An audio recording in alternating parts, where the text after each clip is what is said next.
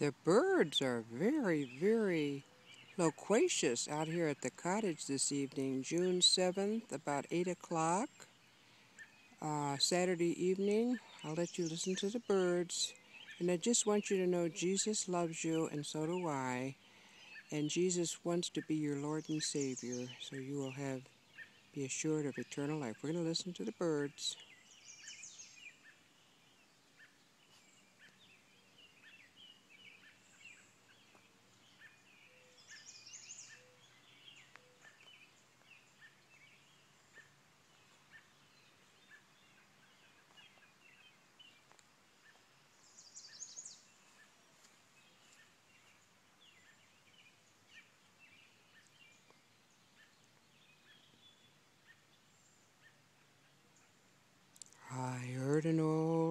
Story, how my Savior came from glory, how he gave his life on Calvary.